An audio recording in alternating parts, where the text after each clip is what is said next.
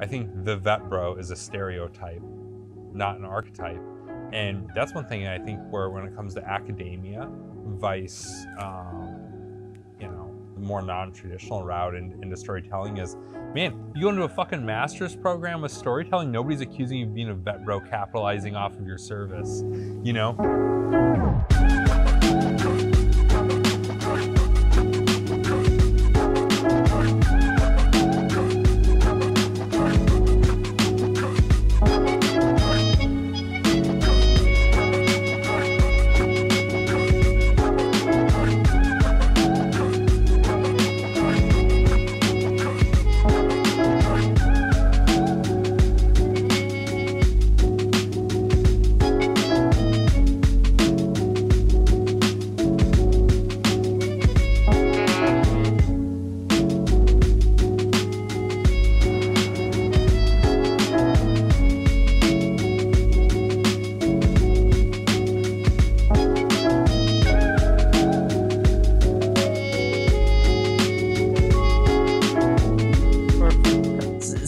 So, within any of y'all's uh, storytelling and character building, uh, the easiest reference would be Joseph Campbell. But you guys each have followed these archetypes personally, but also when you're creating your own characters within the military and fiction. Um, and the easiest reference within this certain circumstances is Lucky Joe and how you guys created characters that you guys uh, found within your military career of guys in your platoon, because every platoon had these these certain people. So let, us let's talk a little bit about these these archetypes within military and within fiction, or or uh, literature in, in general, or within people in general. All right, I'll I'll try to I'll parse through it first. Yeah. Um, if you're talking about archetypes in the military and you're talking about archetypes in literature, it's two completely different things.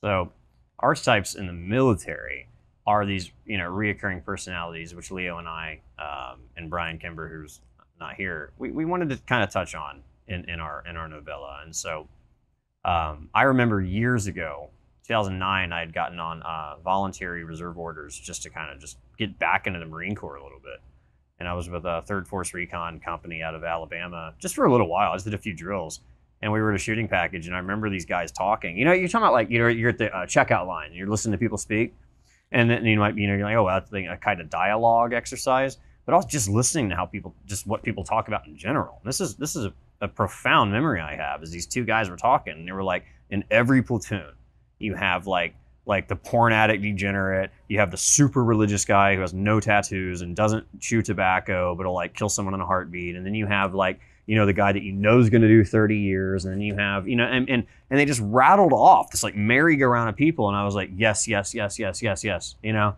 And I was like, and like these, these people aren't, you know, they're not trained by the, by DOD to like, you know, like, like, uh, uh, uh catalog military personalities. They just naturally did and to this day I remember that, and that, that was one of the things that inspired uh, uh, Lucky Joe. And so Leo and I, um, and I'm, I'm very proud of Joe of the character Joe Watts because I really think collectively we created somebody that kind of really jumps off the page, and it's that um, it, it is one of it is definitely one of the military archetypes. I mean, maybe Leo can uh, it, it, was jump on it. I think yeah. it was a little intuitive you know, because we've experienced that, like, and where uh, an archetype becomes a stereotype, right? I don't know. I'm not. I'm not the learned guy who could fucking. I don't even know what an archetype is, right? Like, uh, I know what a stereotype is, and I know that in, in you know, in every company, in every platoon, we had them. Uh, to uh, to Dave's point, like, um, and we live that experience and you you draw from it and and you know it's yeah the capturing of reality I guess. I don't know. Um, and and those those people who in a in the in the freeze frame this tiny little speck of a moment that is our human life our hundred years that we have here we grasp a hold of this thing that um, a lot of writers throughout the, all of the history of writing have done and uh, we categorize those uh, personalities this way or that way because that's how our brains work. We categorize things, and uh, yeah, and we it, we simplify uh, uh, personalities uh, because simplifying things is um, easy for us. All the things that we have going on, and then we write that character. You know, it's to take the magic out of it completely and utterly. You know, you do. You have and, and like I wasn't in a recon platoon in the Marines. I was in Ranger Battalion, but it definitely had the porn addict and the guy who was completely religious with no tattoos who would shoot a motherfucker in the face in an instant. And uh, we had all kind of the same guys across the board. And uh, I, I don't know, maybe I'm not I'm not uh, smart enough or educated enough to be able to put them into archetypes, but I could definitely slam them into stereotypes. And They're the uh, same thing. Really. I'll write the fuck out of a stereotype Yeah. uh, because it, it resonates and it works. Well, I think that, you know, we've talked about archetypes, like the soldier is an archetype, right? Like Captain America is the soldier of the Avengers.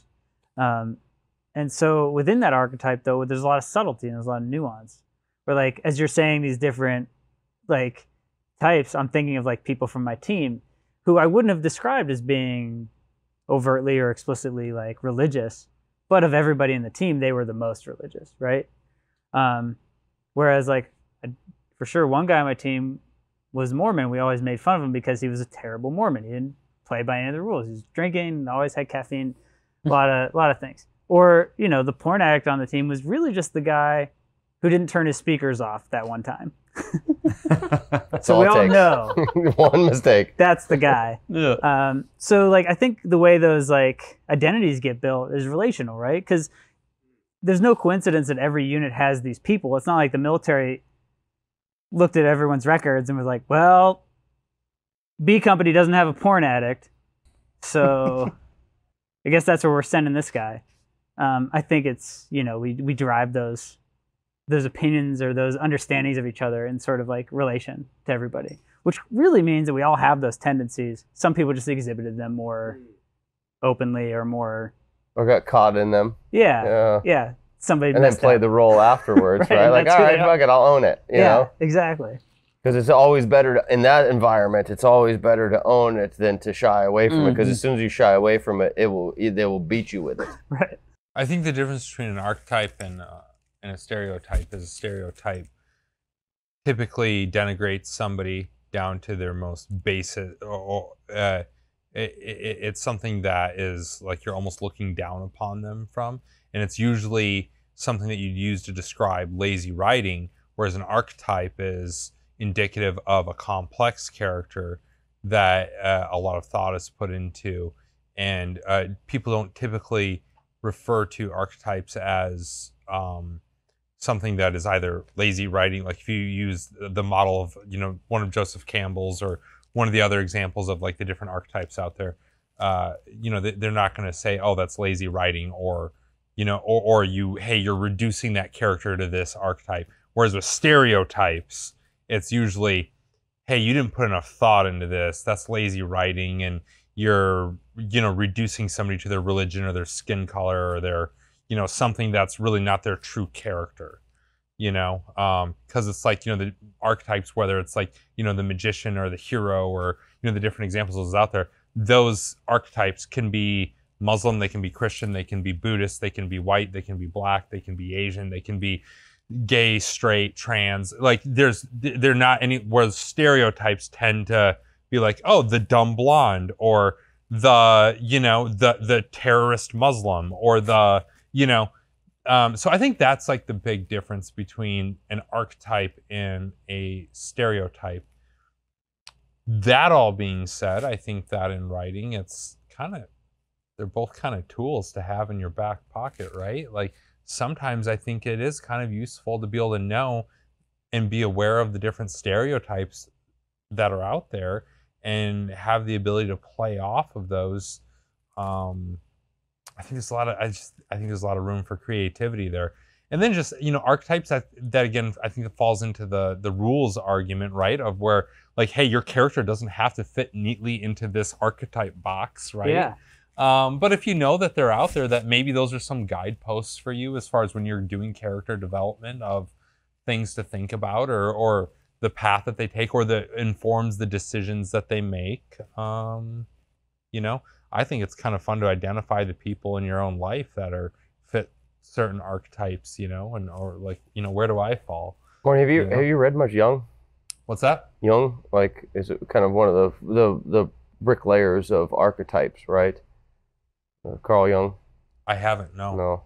Yeah, yeah. Like well, you talked about like the magician and like the soldier. He's like the wise old man. Yeah. And- yeah, yeah, I just curious. Yeah, like where the where the information comes from of the concept of the archetype, right? And uh, like he was one in in psychology that definitely like he was um, paramount in, in in creating those blocks of you know and and um, I would say labeling, but defining Mhm. right? Here are these sections of people and how they kind of fit into those things. Just kind of curious, and, and nothing else. you know how it, i think how it particularly ties into like this group the audience that may be watching this i think the vet bro is a stereotype not an archetype and that's one thing i think where when it comes to academia vice um, you know the more non-traditional route in, into storytelling is man you go into a fucking master's program with storytelling nobody's accusing you of being a vet bro capitalizing off of your service you know Whereas if you do it the Leo or the Marty route, it's like, oh, what what the fuck, guys? Move on from your military service. Why can't you just, you know, go be an insurance salesman or something? You know, um, I think that there's some interesting stuff there. Uh, That's a very interesting point. In fact, we had a question for tomorrow that had uh, that when you asked for the Q- the Q and A prompts for Yeah. tomorrow's podcast, is one of one of the questions was something along the lines of, We'll di- dive into it a little bit. oh, just one somebody wrote, uh, you know, like, do you think it's healthy to constantly? His, his wording was t- paraphrasing, like, you know, constantly obsessed about war. Don't you think it's time to move on? Yeah, when is it time to move on, Yeah, right? yeah. So if we're talking about people who write about war, um, we all have. We all have. Everyone, everyone here has written about war. At what point is it healthy uh, to not anymore, right? why Like- would you avoid one of the most dramatic events of your personal experience? Like, again, like going back to the mechanic thing, it's like, oh, you know, I know I've got a fucking ratchet over there, but I'm not going to use it even though it's the right tool or the uh, the right like. Get the fuck I out know I was here. on the pit crew at the Indy five, 500, uh, and but like Yeah. I'm not gonna I'm not gonna lean on that experience when I'm Yeah. fixing this fucking. and particularly if you're a writer that's the only thing you've done as an adult is be in the military and go to war and you haven't had any of these other life experiences like maybe marriage or having kids or any of the other fucking 9 million things one can experience in life if your only real experience in life is like hey i joined the military and went to war well you write what you know You write what you know. You like write what you until know. something else comes along which is like leo your first book was about war your second book was about traveling Uh, you know like Well, and that's the That was your second and, one, and right? maybe the third, but uh, the Second second, one one was was about about, coming, up- coming back from war. Yeah, i got those two mixed around That's yeah. all right. You're right. Actually, but it's okay because you wrote, actually wrote the forward for that second one, so I'm not mad. At, yeah, just Yeah. remember it. so it was war transition then travel Probably yeah. read it at well, it's a good chronological order. yeah, yeah. And and and and, and There you might be an archetype or two in there to. too. Uh, I don't know. read, I mean, the guy might have meant it uh, differently, but I it potentially when you when you move past it, what's when when is it? I th- that's how I read it. Like Yeah. when when is it appropriate to move past that subject matter? and- maybe. and you I know? think potentially it's you learn more about the questioner than anything else. Is that they might believe that by merely writing about war, you're somehow fixated on it. Not necessarily true. It's just it's just it, it was just it's just informing. It's informing your art. You know, it doesn't mean you're you're tortured by it. Or Yeah, no, no I, I this is the way that I take it is like war for us. We did it in our, for the most part, in our twenties, right? That was a chapter, right? And our characters, each one of them individually, went through that chapter, and they went through a lot.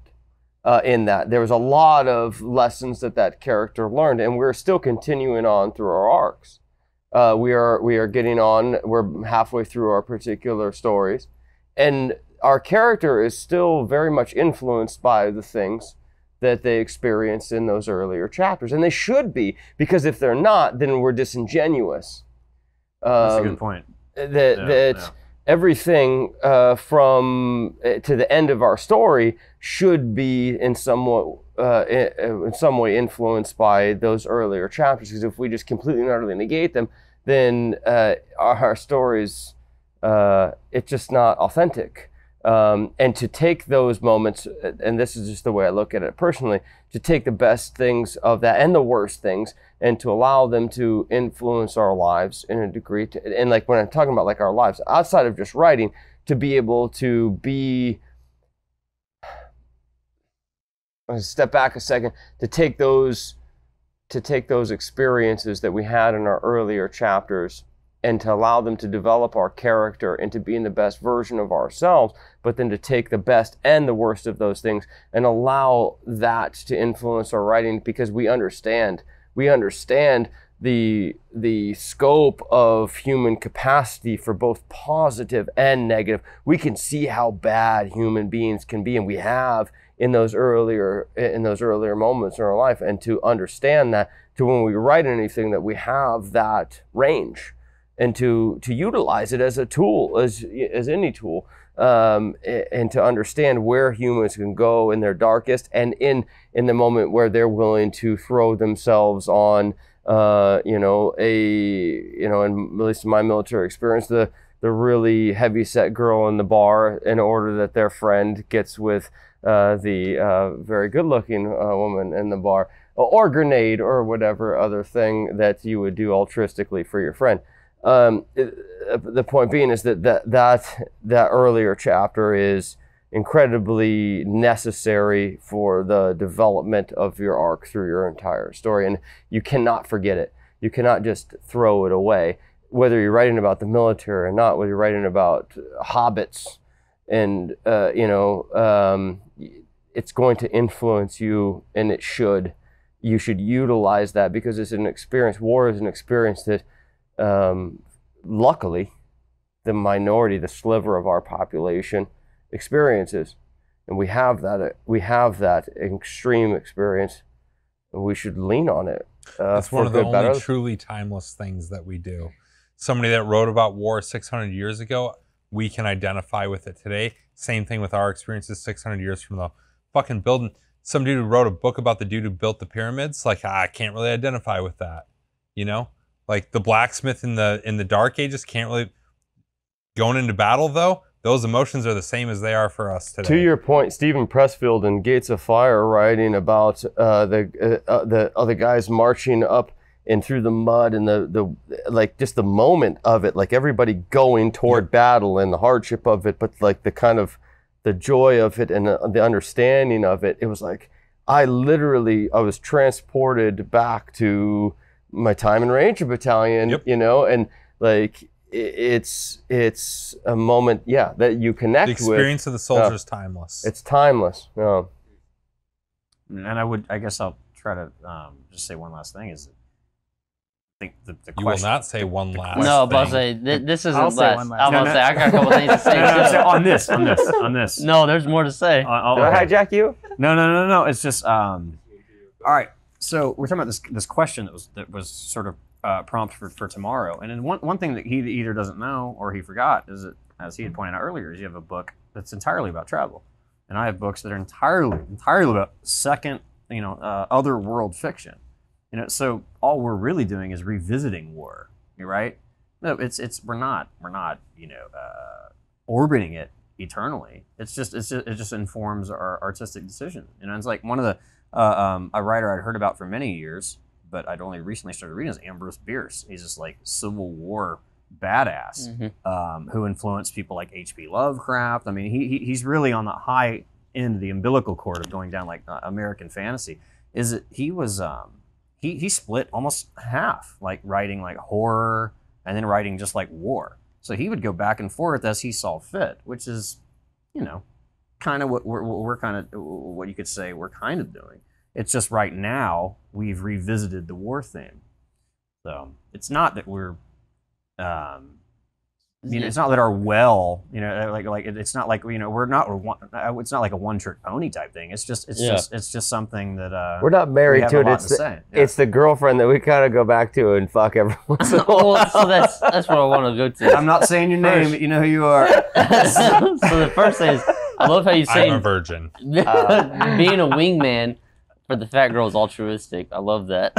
Secondly, or the grenade. I yeah, love or the grenade. Uh, Um, you're talking about it's almost somewhat becoming your identity in some sense, but like we fortunately like with with this this group and the, the other groups that we've, we've been a part of I I was able to watch this documentary about tim o'brien and see this war and peace of him and this is a 60 70 year old man who with his kids like his last book is a, a, a pretty much like a send-off letter to his kids in some sense and all he can think about is the lessons he lear- learned during war and the struggle of putting man himself into war and, and the stakes of that.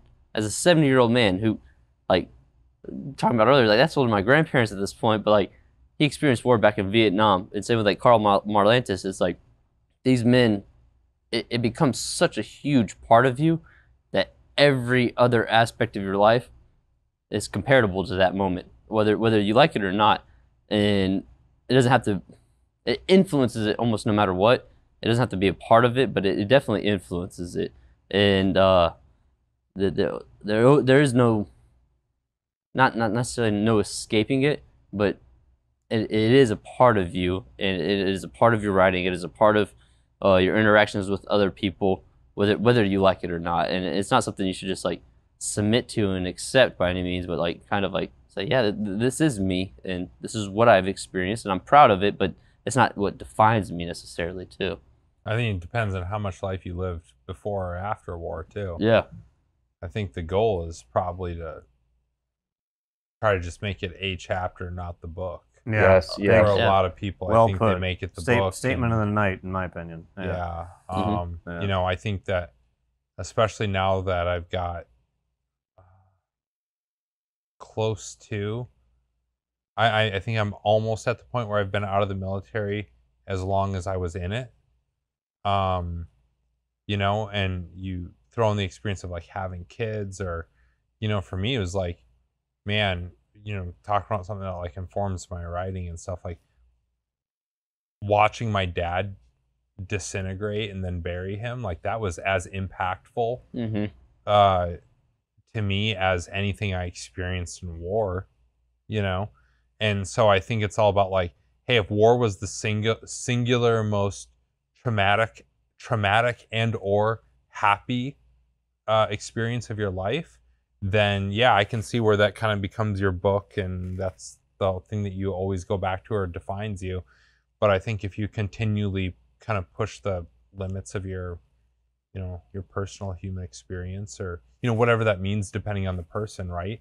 Um, i think that's different for everybody but you know the further you get away from the military it's going to become less and less and less. And obviously that applies differently than the person that spent four to eight years in vice the person who spent 30 years in you know that's it's a little bit different. It's you know you're likely at 30 years not to have as much time out as you did in Yeah. you know it really is your book you know and roger that you know that's the path you took in life. But i think correct me if i'm wrong here we're all kind of in that four to eight year territory you know? So it's kind of like okay well what fucking else did you do? Or did you just hang it up after you did your cool guy shit in the military? Yeah. you know? I mean it kind of goes back again to into that like how deep is that well you have to draw from you know of life experiences what's what's hard is it for that not to be it because I remember the defining moment of when like I did spend more time out of the military than I was in it. And, it happened relatively recently for me. And I was like, holy shit, like why am I still pulling myself back to that? And it, it is a hard thing to escape at some point. And I've, I've just realized like it's not something I want to escape. It's something that is part of me. Yep. And it is what it is. And I'll just keep moving forward.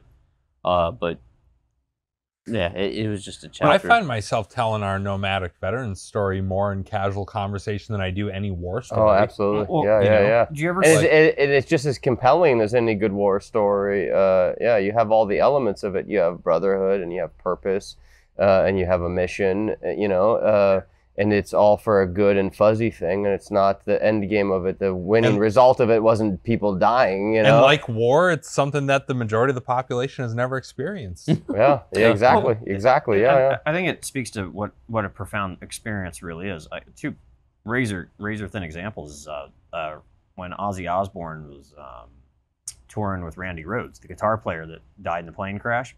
Is that he he says he goes the time that I was uh, with Randy Rhoads, like when they toured together, he seems that it was somehow was a larger period of time than before and after. Uh, my ex girlfriend, her grandfather was um, part of communist Czechoslovakia, who for a while was able to go to I think Tunisia to do some sort of um, medical work. And He was there for like a year, and he's like pushing ninety, and he still talks about it with this reverence, the way that a veteran would talk about it, and and it you know, what do those two things have in common? Is that it was for both the, Ozzy and the, and the Czech doctor. What they, they have in common is this finite point in time. That it was, it was just such a, a, meaningful point in their lives that it kind of is sort of the uh, uh, centerpiece, you know, in some ways. It has, it has the most gravity that everything else orbits. And for a lot of vets, it's, it's that way as well. This speaks to the fact that time is not actually linear, and it is the observer who creates the universe. And if the observer's in- interpretation of what is happening is slow or faster based on their flow state, uh, then so it is, right? This is about the point where we need somebody to take a piece of paper and fold it over on itself and poke a pencil through, just like in every space Event movie ever, Horizon. yeah. to explain black holes or whatever the fuck Yeah. nonlinear time. Yeah, I know exactly. what You see the fucking Yeah. gravity, and Oh. then the watches. Here's the fabric of time, and Marvel spin around. Wait, wait, wait, wait! You guys don't like. LSD? You guys are not? No. but there is something to the idea that we talk about um, traumatic experience and i think military experience whether it's you know combat or basic training or whatever it's you're in this uh, this period of time where you're being trained to think about death and not be concerned about it so you go through this really this period of intensity and when we talk about that narratively the way we tell that story that's it's not a linear track. There's not an end to it, as we're all discussing, right? It continues. Every story you tell after that is influenced by those experiences, whether it's about that experience or not. Um, so that linear, that circularity, really shapes the way we think about, or the way that time feels. So those moments feel big, or they feel prominent because we keep returning to them. Even if your last deployment was 10 years ago or 20 years ago, it feels recent. Yeah, that's it. Yeah. Hmm, yeah. That's a good way to put it. yeah. So, because when a character experiences trauma or goes through a, a traumatic narrative, they don't come out the other side with it behind them and they never think about it again. They return to it, right? Mhm. The story is the process, not the not the goal, not the end result.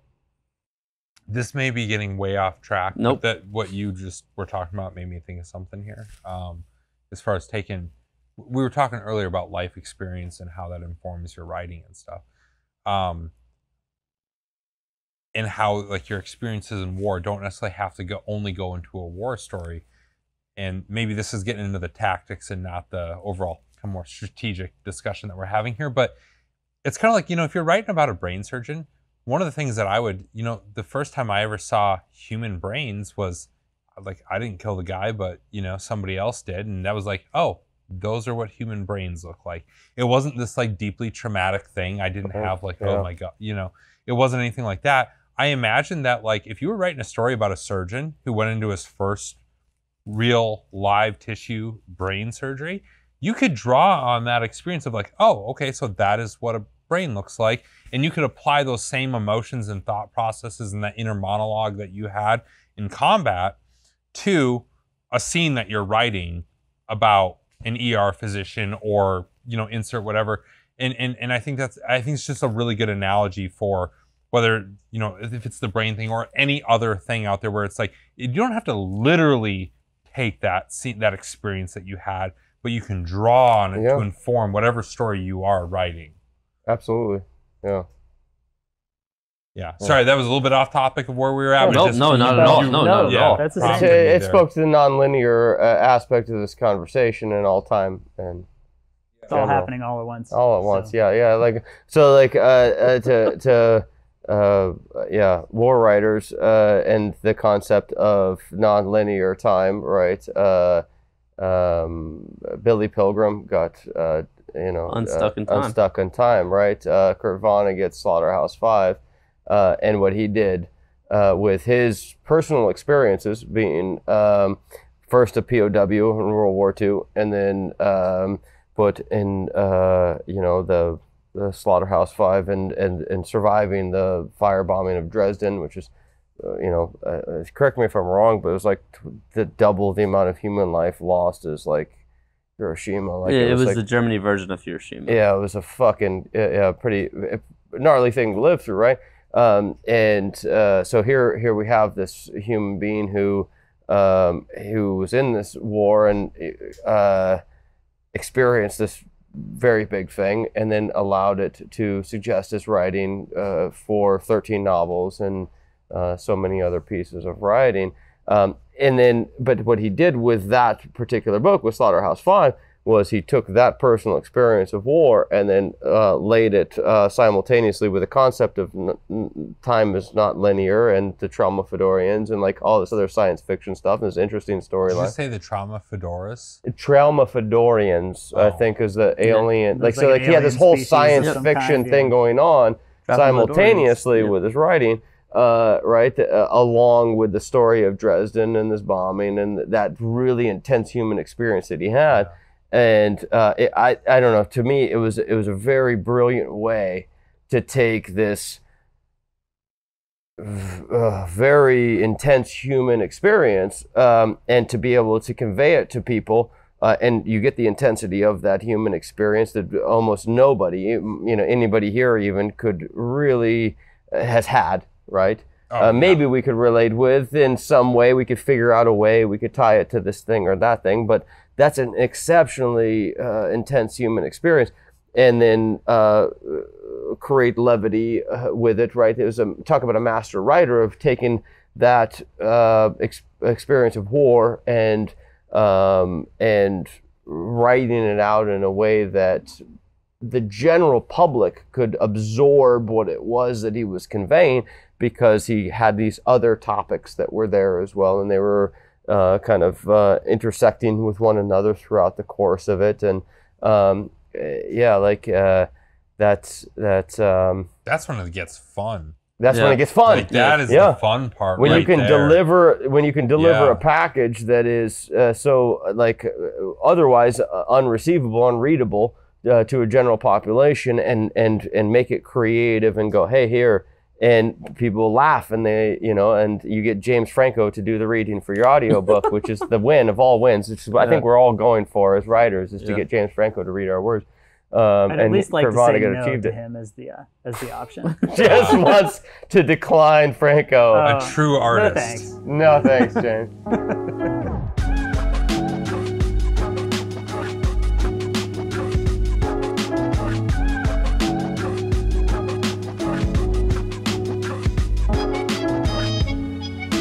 What other writers have inspired you guys personally uh, on y'all's y'all's journey to becoming writers?